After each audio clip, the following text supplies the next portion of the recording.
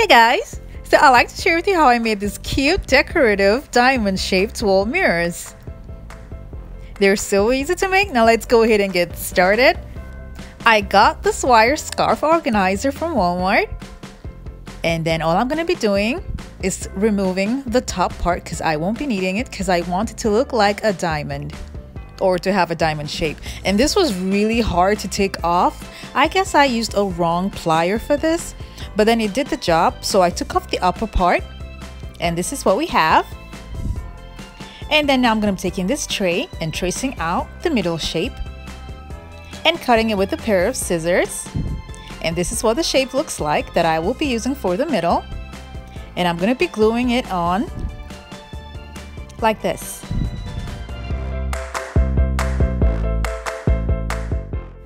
And this is the hook that I'm going to be using and I glued it at the back and now I'm going to be taking craft sticks and gluing them together to form the support at the back where I'm going to be gluing on the mirrors.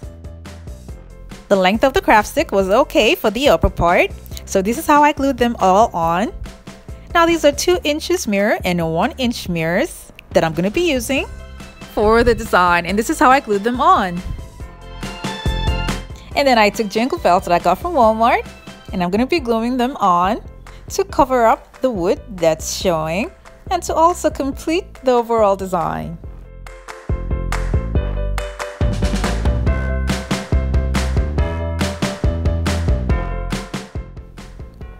This is what it looks like. And then I made another one to give to someone and I covered up more of the open spaces.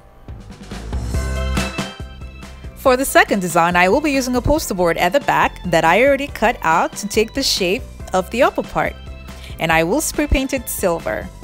I took skewers and I spray painted them silver and I cut them down to length and I'm gonna be gluing them to form straight lines to make it look more like a diamond.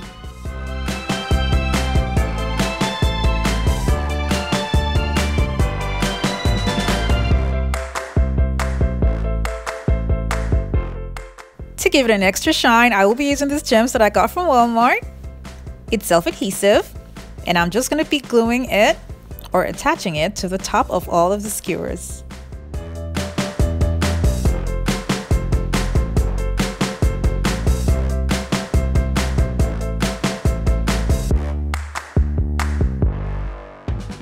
When I was done with that, I spray painted the cutout that we had earlier to silver and I will be gluing it at the back and this is what it looks like. Now I took larger gems from Walmart and I glued them all around the top and then gems of different sizes to fill out the open spaces. And this is what we have.